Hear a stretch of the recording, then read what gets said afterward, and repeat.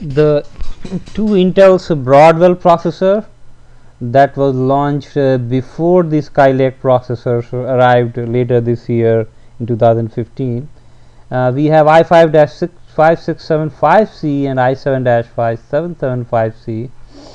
Uh, the, the key differences is uh, the first one has to do with the cache memory which is 6 MB in the i7 one and 4 MB in the i5 one and the second main difference is going to be the number of threads the support for the hyper thread for each uh, given core you have could have two threads running in parallel for the i7 one.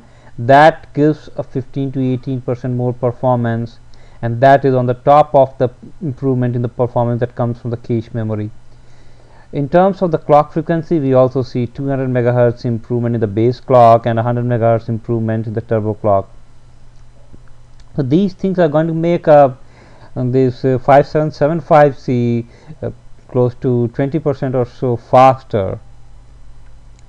Looking at the integrated graphics, both of them benefit from the Intel's uh, Iris graphics and that's very decent, much better than even the HD Graphics 350 that come with the newer Skylake processor.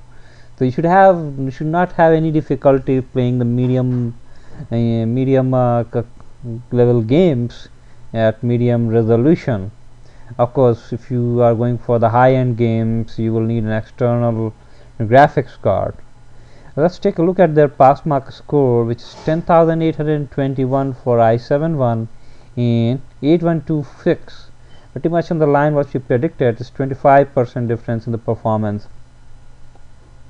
On the price front you are going to pay more for Broadwell at $377 versus $277 for the i5-5675C so depending upon your budget you can choose this or this one.